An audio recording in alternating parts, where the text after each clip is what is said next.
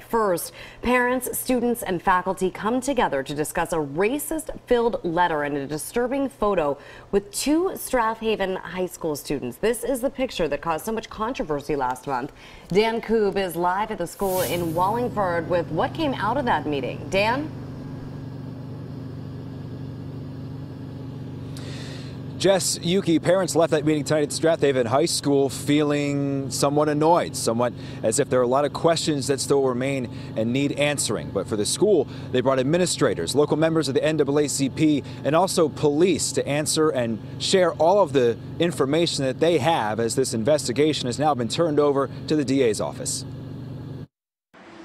Four girls, all students at Strath Haven High School, are believed to have had some role in this picture and a hate filled letter distributed on December 15th in the community. There should be consequences for certain actions for anybody. And it would definitely be a different story, I believe, if it was the shoe was on the other foot. Authorities determined the photo depicting two girls wearing KKK style hoods and the letter are unrelated and originated months apart. Our cameras were not allowed into the Strath Haven auditorium, but we did attend and saw hundreds of parents and students fill its chairs. Many wanted a more detailed timeline of how it learned of the posts on social media. Some parents and students told me they were disappointed to find out the district would not have jurisdiction to discipline the the students if necessary. That kind of gives a, a loss of hope because it just it makes it seem like nothing's really going to get done about this. And they say it's a pending investigation.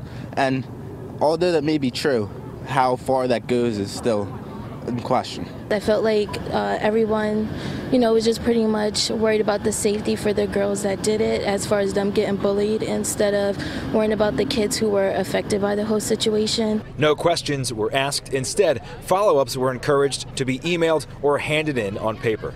Questions and concerns are still uh, up in the air, and they weren't too clear about, you know, um, what's going to be the next step of preventing this from happening, but uh, like I said, it's just a good, at least it's a good first step. I did speak to a father who had one of these letters pinned to his home. He didn't want to go on camera, but he did say he believes the situation has been overblown. He received an apology from the girls involved and believes we should all move on, that this was a mistake by teenagers who should not be judged for it for the rest of their lives.